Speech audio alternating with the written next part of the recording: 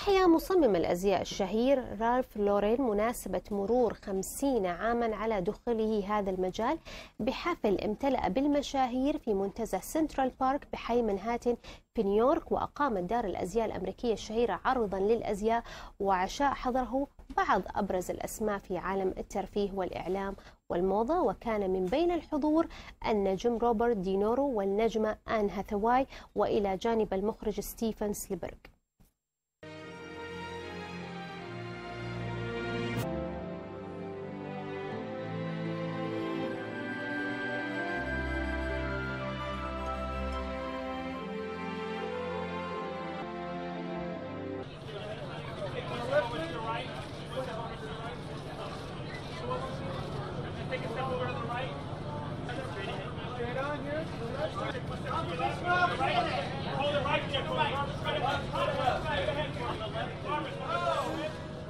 Right.